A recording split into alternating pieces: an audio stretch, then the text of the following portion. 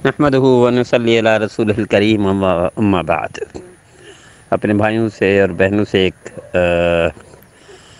दरख्वास्त करता हूँ कि ये वो जो वाक़ सुनाने लगा हूँ, इसको ज़रूर सुनिए, ज़रूर दूसरों को सुनाइए। क्योंकि हमारे माशरे में सबसे बड़ा बहरान किरदार का आया है, अखलाक का आया है।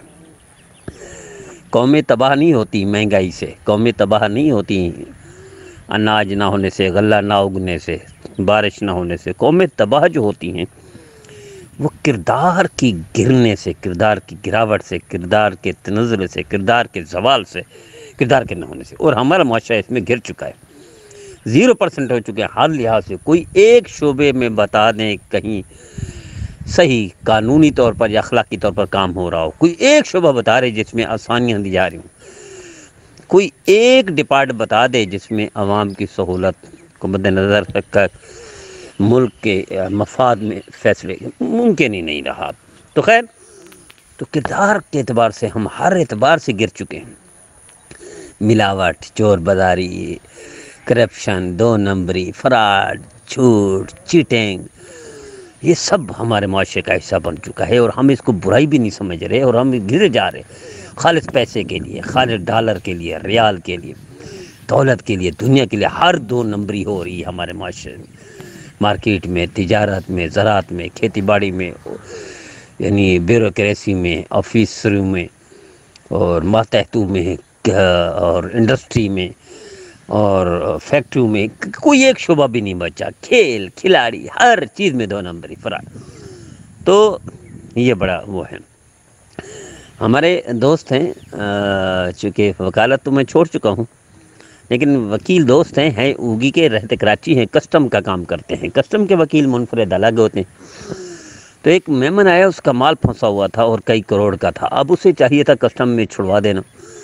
छुड़वाने वाले जो वकील होते हैं, ख़ास कस्टम के, उनमें से एक ये दोस्त थे उनको उन्होंने कहा माल चूँकि कई करोड़ का था, ये समझ गए। तो इन्होंने ब्लैक मेल किया कि मैं तो इतने लाख लूँगा। हालाँकि उम्मीद तौर पर फ़ीस होनी चाहिए थी, बीस हज़ार, तीस हज़ार, पच्चीस हज़ार, चालीस हज़ार, पचास हज़ार। अरे उन्होंने कहा, हम दस लाख प्लस लेंगे। अब चूँकि मजबूर था, कोई और छुड़वा नहीं सकता था। उन्होंने कहा, ठीक है डन वरना मेरा माल ख़राब होता है, वो कई करोड़ का है और नुकसान बड़ा है। अब वो ब्लैकमेल करके उनको ले लिए कई लाख, दस लाख। अब सुनिए आगे क्या है।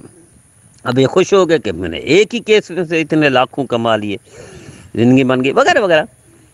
बेटा दूसरे या तीसरे दिन जा रहा था आग खान यूनिवर्सिटी, इसी वकील का बैठा गाड़ी दौड़ाते हुए तो ओवर स्पीड पर एक्सीडेंट हुआ, टांगें टूट गई, कई महीने के लिए वो हुए, माजूर हुए, अभी अभी तक माजूरी है। और इनको वकालत कई महीने छोड़नी पड़ गई। वो इतने परेशान हुए कि वो पैसे नहीं, उनके साथ दुगने पैसे और लग गए। तब भी बच्चा सही सेहतमंद नहीं हुआ। तेरा रब ऐसा बदला लेता है। तो तजर्बा करके देख लीजिए, जो किसी मजबूर से फ़ायदा उठाता है, जो किसी इस तरह सलूक करता है कि नाजायज़ फ़ायदा उठाए, अल्लाह उसको इबरतनाक सज़ा देते हैं, लेकिन हम लोग चूँकि माशरा ऐसा घिर चुका है, पैसे की हवस में दौलत के पुजारी इतने बढ़ चुके हैं, डॉलर, रियाल, पैसा, चोर बाजारी चीटिंग, फ्रॉड, इतना हो चुका है कि हम इस तरफ़ तवज्जो नहीं दे रहे कि अल्लाह पकड़ता है, अल्लाह सज़ा देता है।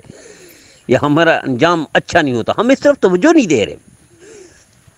तो तजर्बा करके दे, जो बंदा भी किसी से फ़ायदा उठाएगा, नाजायज़, ब्लैक मेलिंग करेगा, अल्लाह इसको इबरतनाक सज़ा देगा, जो हमारे माशरे में हम उस तरफ़ देना छोड़ दी है। तो मैं इल्तजा करता हूँ दरख्वास्त करता हूँ अपने भाइयों से, फिर बहन खुदा के लिए वापस आ जाएँ। किरदार अच्छा करें, अखलाक अच्छे कर ले, अमाल अच्छे कर ले। अल्लाह के रसूल की फरमाबरदारी में आ जाएँ। नाफरमानी में ज़िल्लत है, दुनिया की भी, आखरत की भी। मुझे उम्मीद है मेरे भाई, मेरे बहनें इस पैगाम को खुद भी सुनेंगे, दूसरों को सुनाएँगे, खुद भी अमल करेंगे, दूसरों को कराएँगे।